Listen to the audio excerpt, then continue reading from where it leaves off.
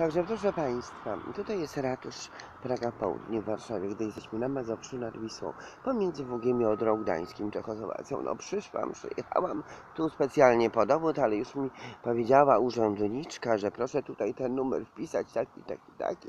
I w komputerze po, pokażę, czy jest dowód, czy nie ma. No nie ma, dwa tygodnie minęły, proszę Państwa. Ta Grażynka mnie pocieszała. Oto nasze siostry, świadkowie Jehowy stoją, proszę Państwa, które na pewno nie pójdą głosować na żaden PiS, na żadne PO, na nic. I ja chyba też nie pójdę, proszę Państwa. Jeżeli ja będę czekać tutaj na dowód do miesiąca, a jeszcze zwłaszcza, że to nowum, czyli elektroniczny dowód, no to przecież w Warszawie jest takie dziadostwo internetowe, nie ma internetu, elektronika pod psem, dowód elektroniczny, proszę Państwa, jak ja muszę tyle spraw pozałatwiać, jeszcze będę czekać nie wiem ile, mówiła do miesiąca, ja rozumiem, że może do miesiąca, ale może w dwa tygodnie zrobicie. Nie! Czekaj.